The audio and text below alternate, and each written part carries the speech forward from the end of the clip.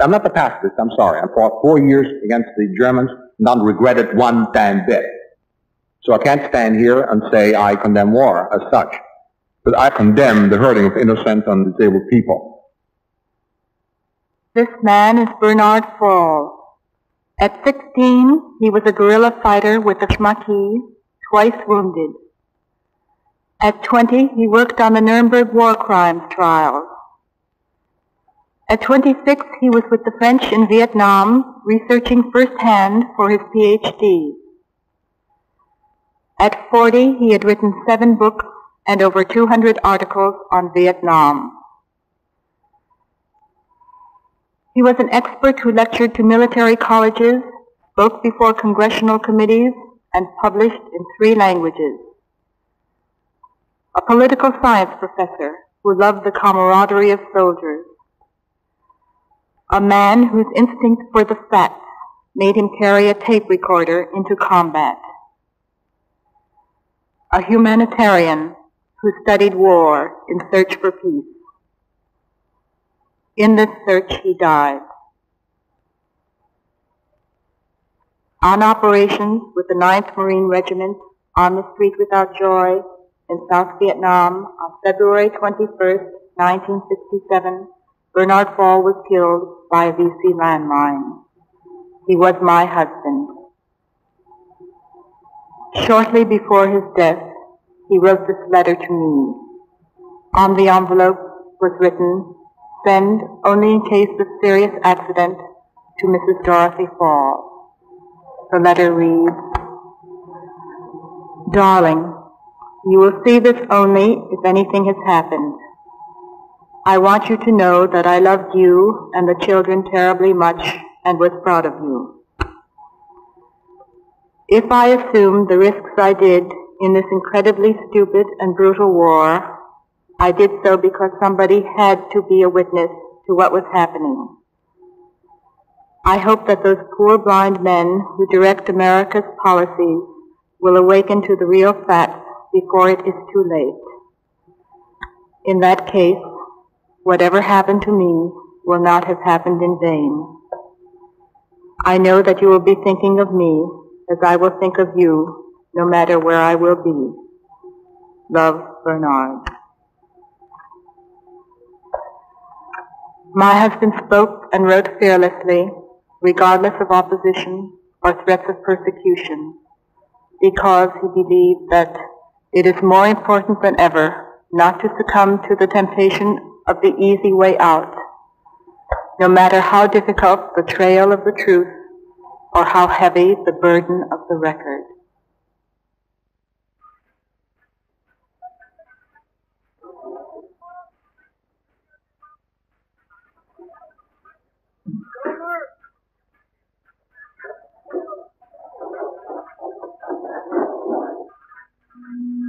February 1967. This Bernard Fall in the Street Without Joy, the old area where the French fought in 1953. We just walked across something like 12 kilometers of sand dunes. Well, But just normal march. A few shots one side, one, uh, at least one mine. But uh, so far, so good. The voice in the background is that of a Vietnamese lieutenant who is talking to the uh, Vietnam First Division.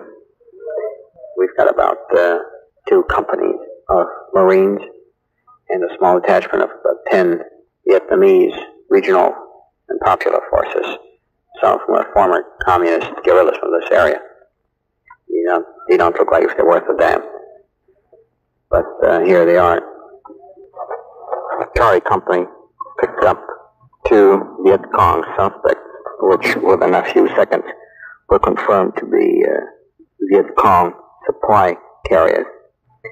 A little girl, about 20, strapping girl, and uh, by the time the Vietnamese left us, they were already beating them. And of course, it's small wonder that no civilians stay behind except a few old women. The Charlie Company has fallen very badly behind, and now there's a big hole in our left flank. And uh, some people are running away from us. Obviously, they're getting out of the way.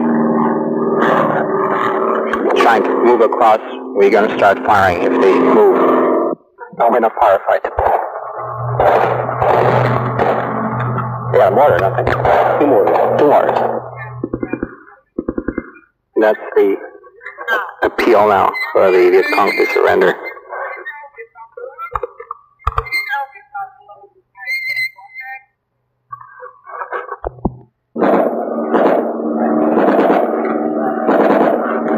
A machine gun fire. They're running. Oh, you know, shooting at the Buffalo Boys. Oh, for Christ's sake. What is that? Oh, Viet- oh my God. They're shooting at some buffaloes, apparently. Okay, what we How does he know?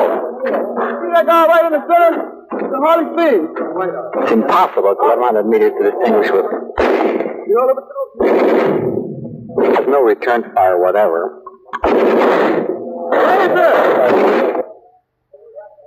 By tonight, we'll know whether uh, what we killed were genuine VC with weapons or simply people.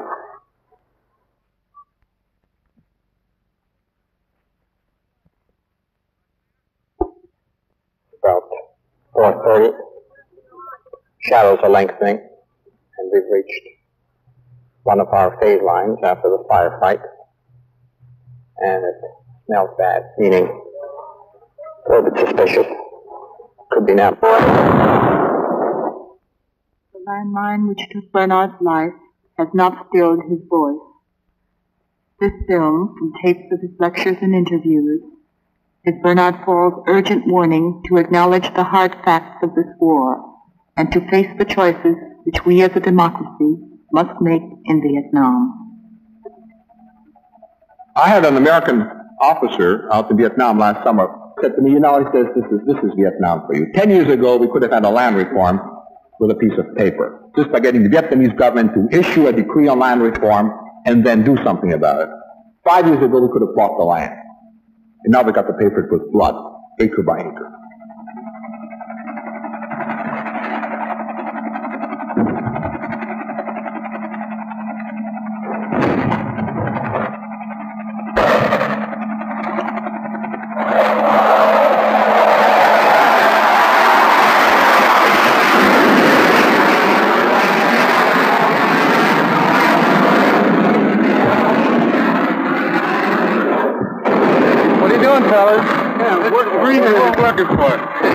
We fighting a war. Yeah. fighting a war. A big part with dirt and mud and everything else.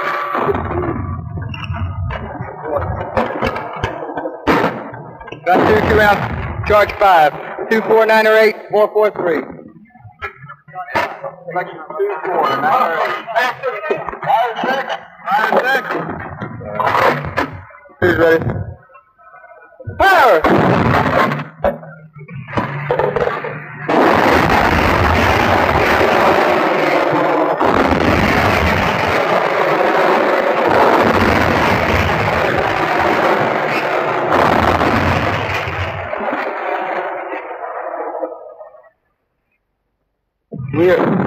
Against uh, the hardcore, the North Vietnam. Uh, rest of them, they'll fight little little bands. These guys out here, they don't give up so easy. They're just like us. They stand in holy ground.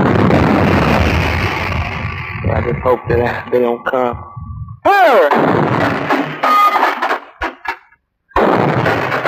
Two shot sevens on two.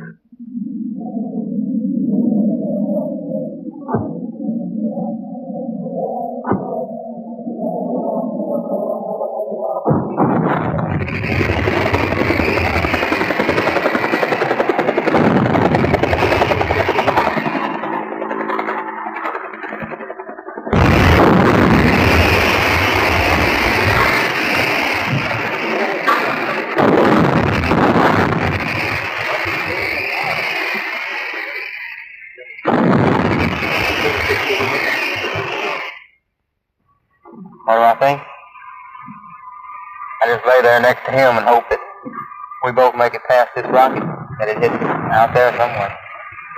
Been lucky so far.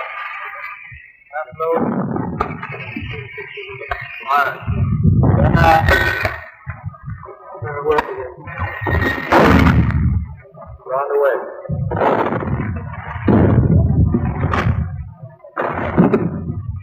Stay down, stay down.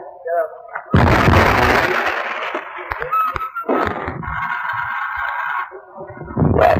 I like it. Just a big mud hole. Got up?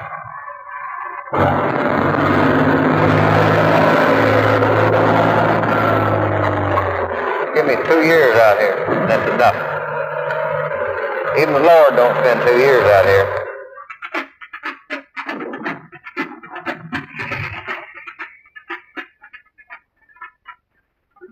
War is a controlled act of violence designed to break the enemy's will to resist. That's the definition of war. The old uh, truism that the purpose of war is to break the enemy's will to resist is still true in revolutionary warfare.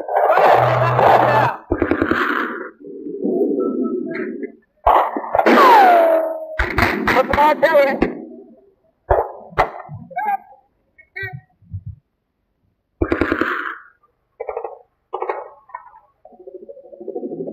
Basically, the war can be won. Basically, the war is being fought not for Vietnam, but simply purely to prove that revolutionary war doesn't work and that uh, uh, armed containment does work.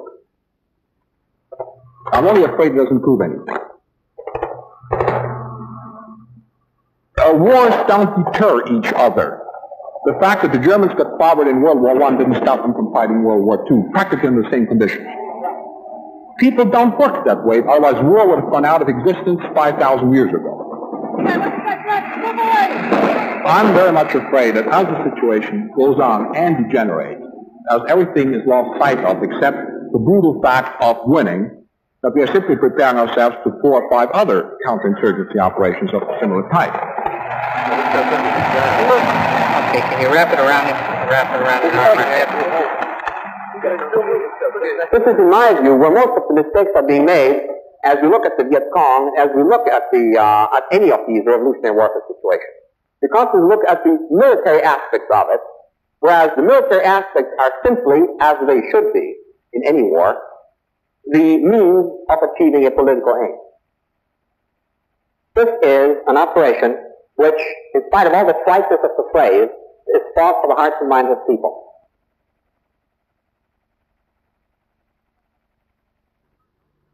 But finding really counts, and counts decisively, is whether the population believes that the government for which they are supposed to fight is going to outperform the competitive guerrilla. Force is inevitable in the sense that you have to protect what you're promising. But this is a very, very narrow vicious circle, if you want to. You can only hold the population. if The population tells you where the infiltrators are, where the communist guerrillas are. They will only tell you if they have confidence in you that you're going to deliver the goods. The hard fact is that Vietnam has been left for 10 years with all its very real social economic problems unattended to.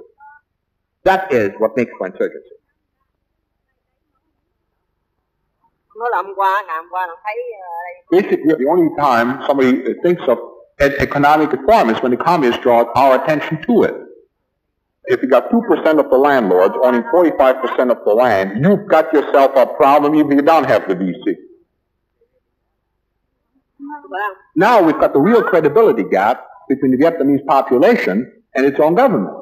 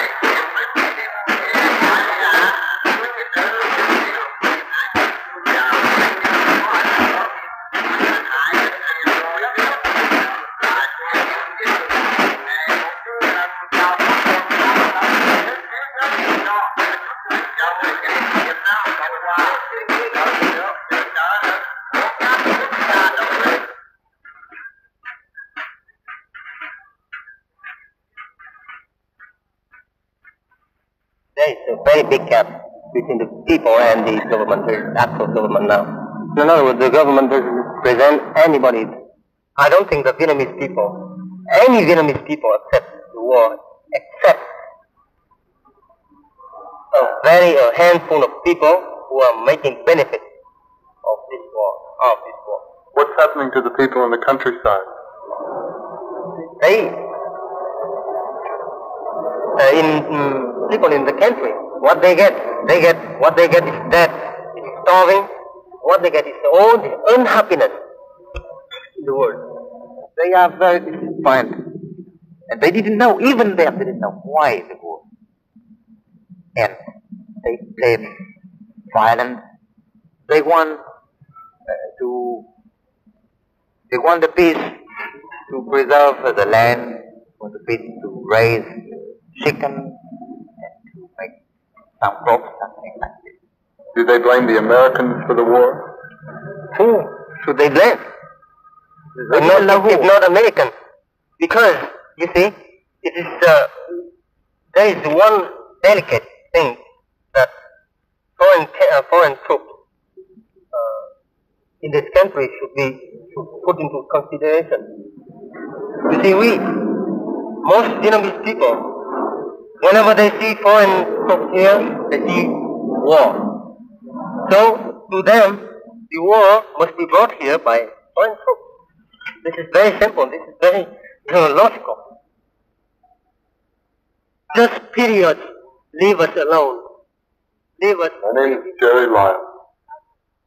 I'm ashamed. I'm ashamed of being American. For 16 months I've been justifying American policy in Vietnam. And I don't, I, I, I've run out of, of justification. We're alienating the people, destroying the country. And we're doing these things in, in the names of peace and democracy. These are the people I've been working with for a year and a half. Refugees and peasants.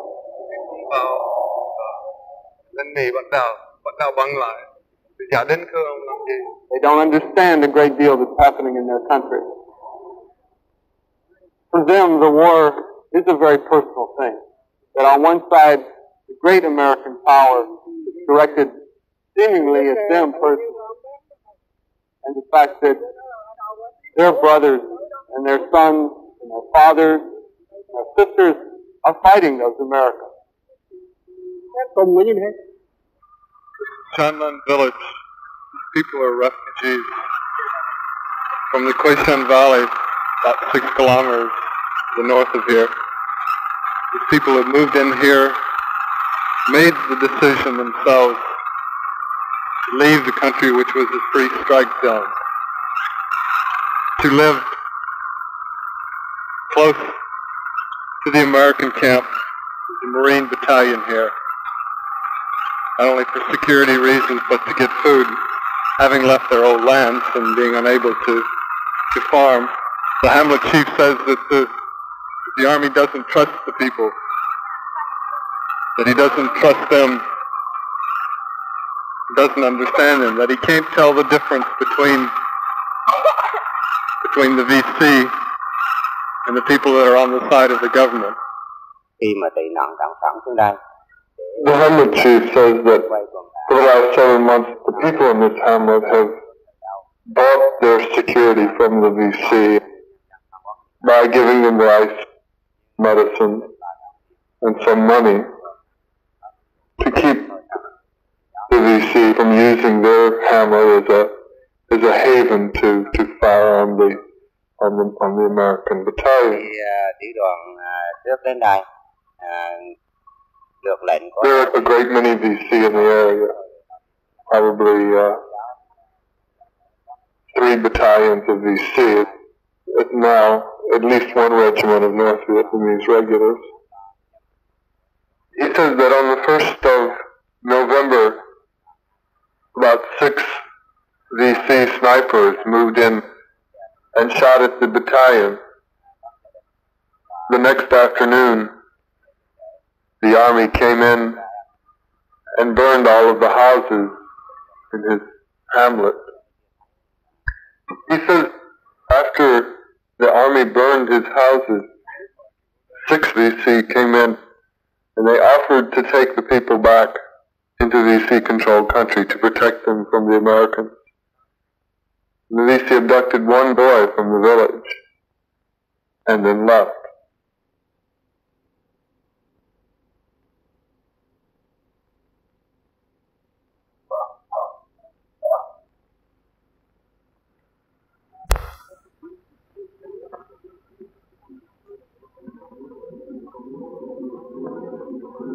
To the Vietnamese peasant, the war means a total disturbance of his way of life.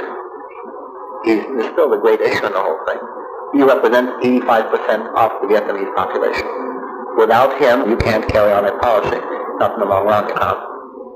It has been said that the United States, as a way of life, did not stand up for what is called freedom in Vietnam, but other countries might lose heart to which one may only answer respectfully that there are millions of Vietnamese peasants who live with the shambles of their own surroundings and probably feel that this kind of freedom is being bought pretty dearly and being bought at their expense.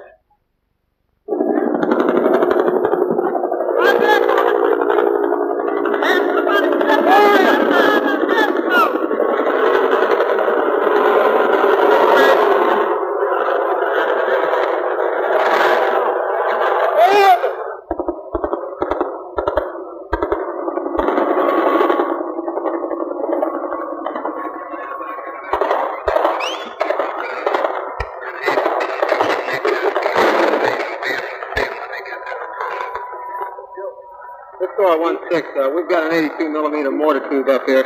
We're gonna send it to you. We're checking out the rest of the area. We've got one dead goose up on the top of the hill. I'll give call you back in just a minute. Go take a look. Yeah, I gotta go see him. Man, ain't no head there. Oh, I need some ammo, man. Now right here, the hill. Hold on. Put some ammo in here. hey, Kimbrough! Does this remind you of South Carolina? Know it, everything?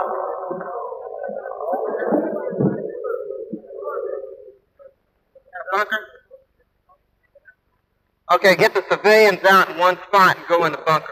Hey, yeah, come on. Break. Don't break nothing. Go on board the bunker, check out, and get in there and pull out. I got Go to the bunker, check the houses, and leave them. We only got time to check them out. Check them as soon as they're good. Just a time. Okay.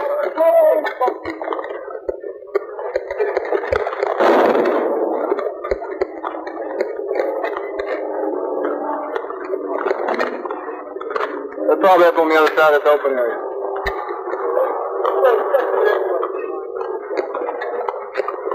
Hi, Oh,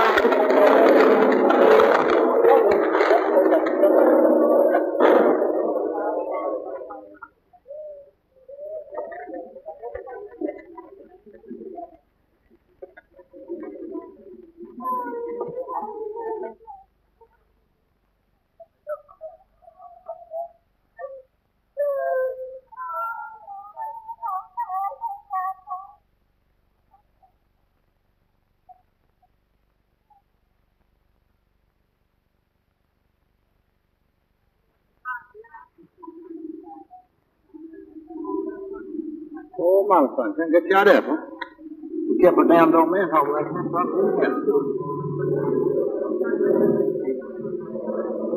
That's a shame.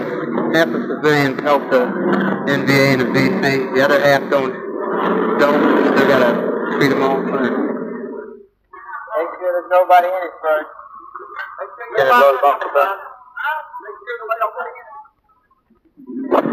Hey, Davenport, that guy looking up? That tall, skinny guy with a funny-looking face? Yeah, Robert? Yeah. He's got worms.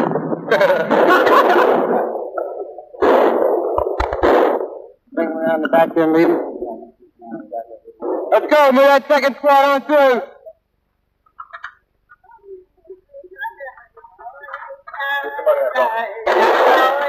What the hell is he crying about? Oh,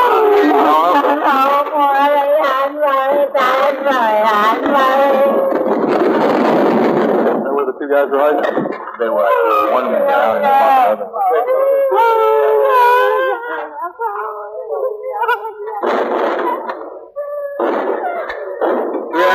You,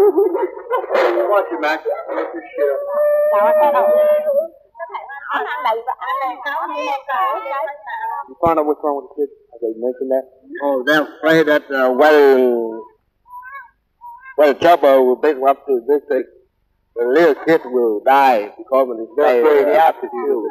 Helicopter, when they take them up, will kill the kids. What was it? Charlie was starting some baseball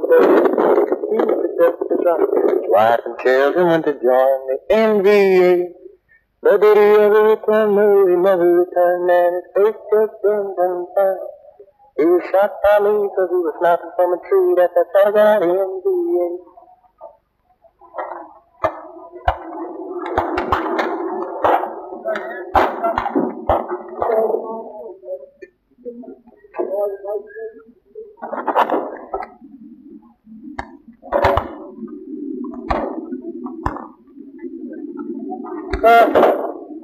I don't want to run you. You got to gun down.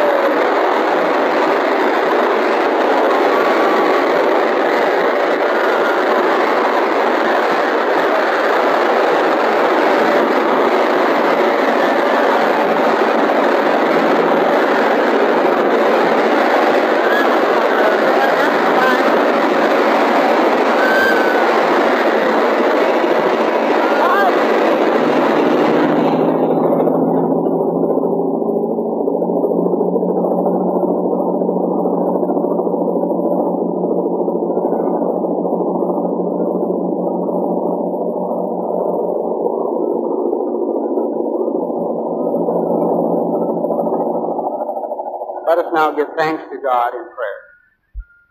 We thank Thee for life. We thank Thee for the commanding light that shines out of darkness. For laying the foundations of the earth. We thank Thee for creating us in Thine image by giving us an intelligence, initiative, and responsibility that we have, and for keeping us in Thy steadfast love. Let's stand and sing. We always sound a little better when we do. On a hill far away, stood an old rugged cross,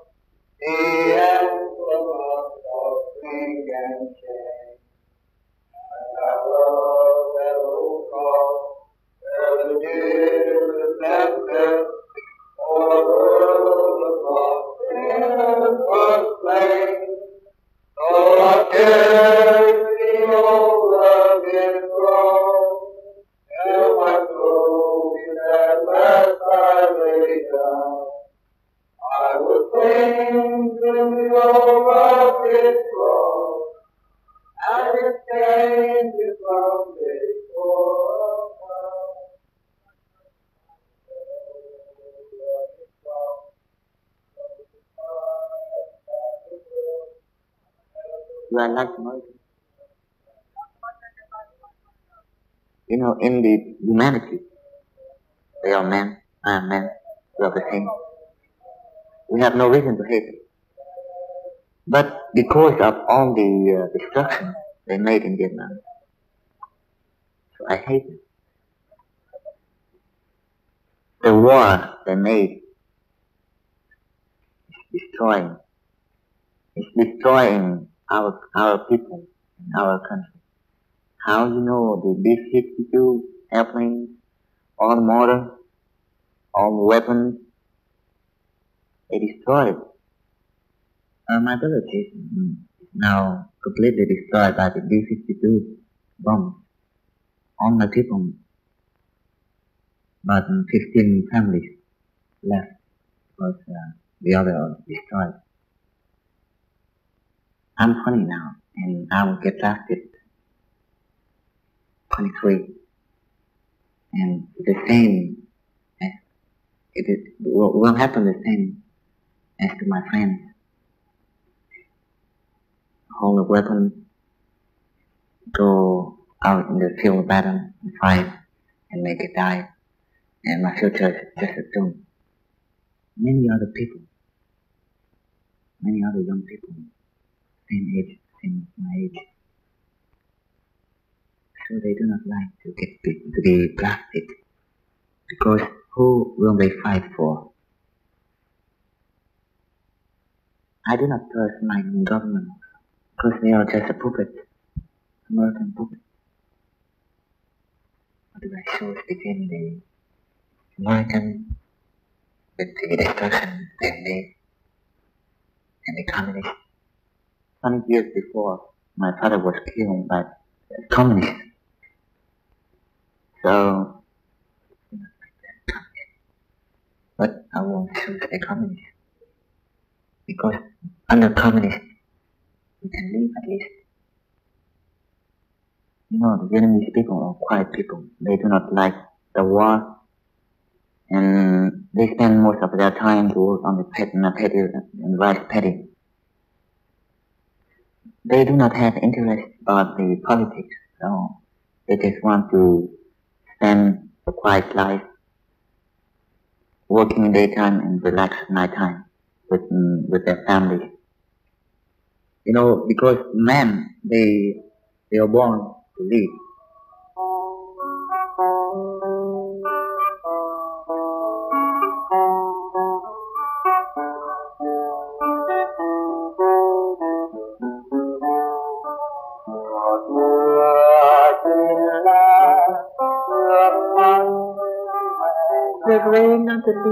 Like a mother's tears running down her face.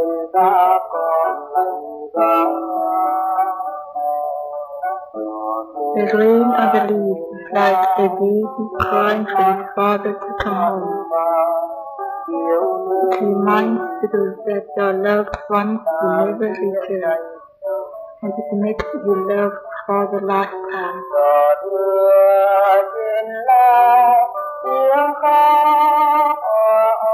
The rain on the leaves shows the sorrow of the war.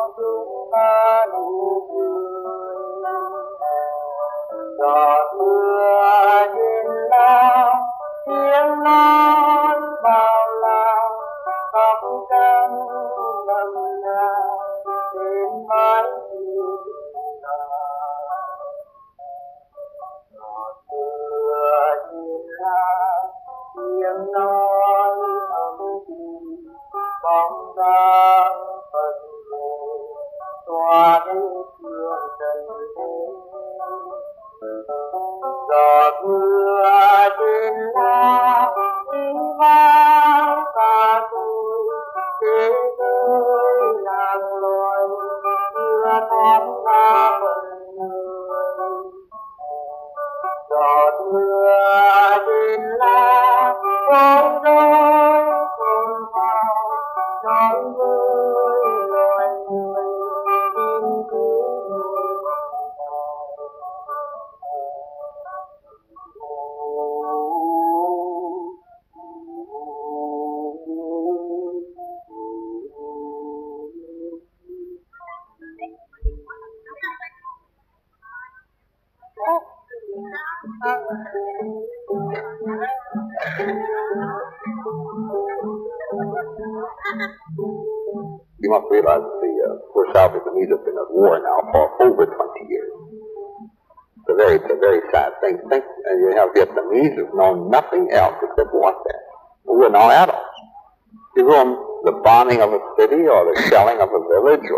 Plowing under a- of crop under tanks has become one of those natural calamities like to us uh, a midsummer storm.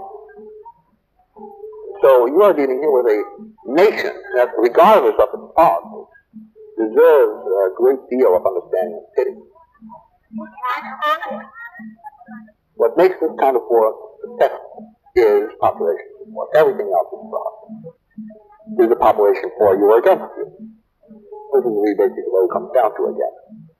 We just don't know. But whether we can, in the midst of this kind of war, uh, hope that the Vietnamese will finally be convinced on the basis of democratic performance that our side is better, is pretty doubtful.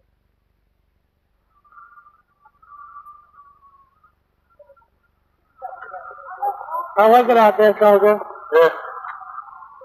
I've been walking since early this morning, walking the last couple of days, pretty steady with full pack on, and been burning a lot of hooches and stuff. Man, it's just rough. It's humping.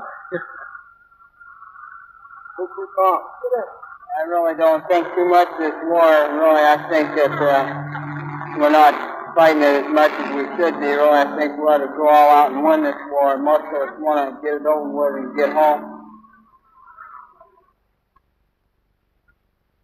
To win the war militarily, a total figure of 2.5 million men is not excluded on straight military terms. Everybody laughed when Hanson Baldwin said that it would take a million Americans get them. I think a lot of people aren't laughing no more. This is precisely the whole tragedy, that it takes an enormous amount of troops, or it takes the population support. And the population won't support you until it's been shown that you win. You can't win without the population. They go beautifully in circles. Obviously, there's one last alternative to all this. Massive firepower. Massive firepower will do an awful lot.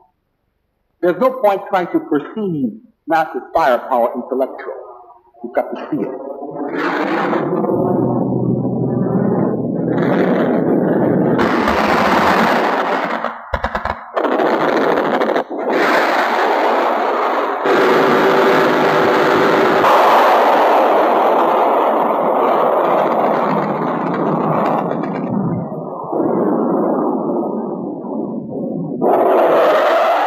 That's firepower. Now, against that, ideology, your motivation, as it becomes largely irrelevant past a certain point. Don't you ever forget. That kind of firepower kills an awful lot of people. So, against that, of course, you don't have to have counterinsurgency. Or you don't have to have insurgency. You simply and purely eliminate the problem militarily. And then you reconstruct the left over Vietnam.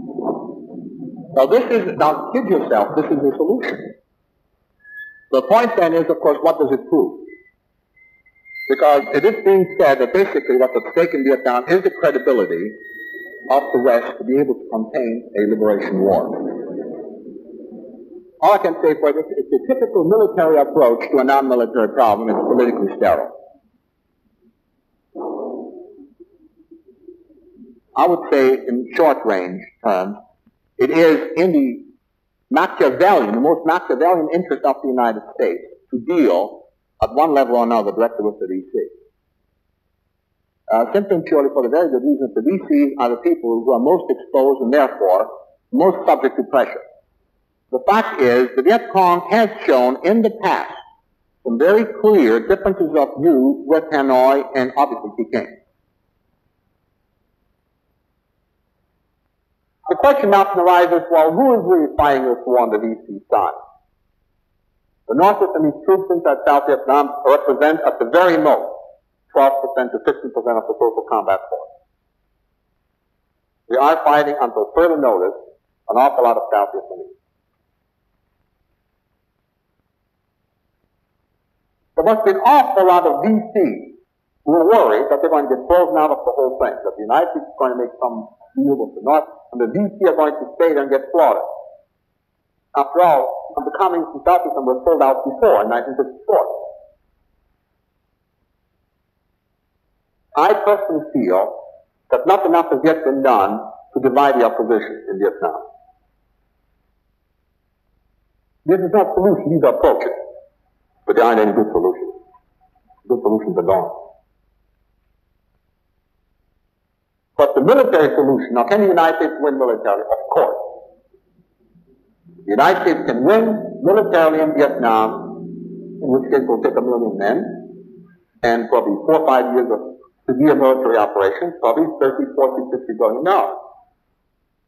So the judgment then has to be made, whether a measly two-bit war in the middle of nowhere is worth one million troops. I feel that we must now realize that there have to be some political uh, solutions business, which includes negotiating with the Viet Cong. This is then a matter of political judgment, which is of course proper in a military situation, particularly in the United States and democracy. But the political judgment will have to be, will have to be soon, because we may not have any Vietnamese to support. But there aren't any good solutions. Good solutions are gone.